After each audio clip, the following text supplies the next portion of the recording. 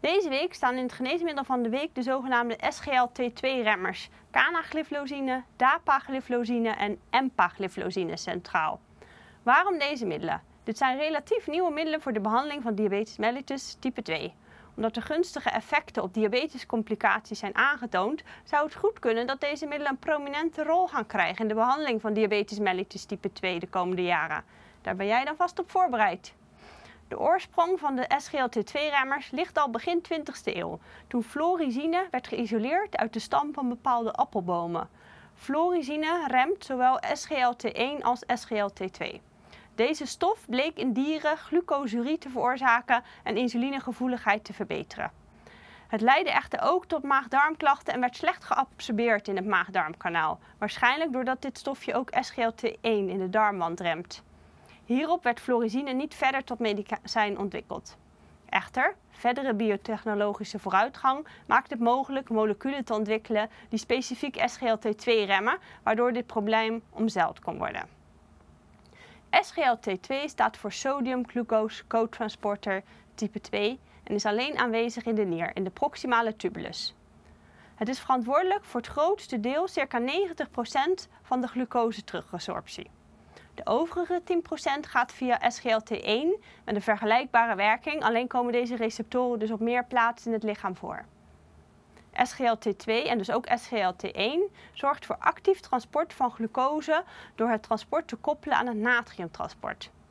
De energie komt van de ATP-afhankelijke natrium-kaliumpomp aan de basolaterale zijde. Glucose diffundeert na reabsorptie uit de preurine dan passief naar het bloed. Onder normale omstandigheden wordt op een dag circa 180 gram glucose gefilterd en weer gereabsorbeerd. Hoe hoger de plasma-glucoseconcentratie, hoe meer er gefilterd wordt en dus gereabsorbeerd moet worden. Als de plasmaconcentratie hoger dan 10 mmol per liter is, raakt SGLT2 verzadigd en kan niet alle glucose teruggeresorbeerd worden. We spreken van de nierdrempel voor glucose. Door SGLT2 te blokkeren wordt de terugresorptie onafhankelijk van de bloedglucoseconcentratie geremd. Zodoende kan de glucose uitgeplast worden, zelfs als de bloedglucoseconcentraties lager zijn dan 10 mmol per liter. De belangrijkste te verwachten bijwerking gezien de zoete urine zijn urogenitale infecties. Dit komt 3 tot 5 keer zo vaak voor bij de behandelde groep vergeleken met de placebo-groep. Ook zijn een aantal ketoacidoses opgetreden waarvan de relatie met de SGLT2-remmers nog niet helemaal opgehelderd is. Een andere gevreesde bijwerking, hypoglycemie, bleek relatief zeldzaam.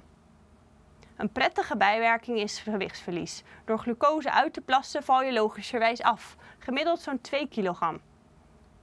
Qua effectiviteit blijken deze middelen een gunstig effect te hebben op nefropathie en cardiovasculaire aandoeningen. Erg belangrijk voor een antidiabetesmiddel.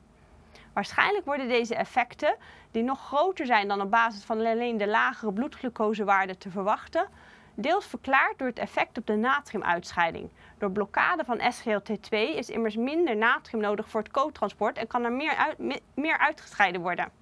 De bloeddruk bleek ook lager, wat past bij deze hypothese. De enige cardiovasculaire aandoening die juist meer voorkwam bij patiënten met SGLT2-remming was amputatie vanwege perifeer vaatlijden. Dit is gelukkig veel zeldzamer dan andere cardiovasculaire complicaties, maar moet wel nog verder onderzocht worden. Momenteel is er nog geen vaste plaats voor SGLT2-remmers in de huisartsenstandaard.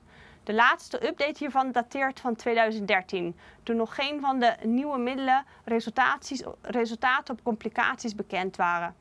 Gezien de gunstige effecten op bloeddruk, nefropathie en hart- en vaatziekten is het goed mogelijk dat SGLT2-remmers wel een plaats gaan krijgen.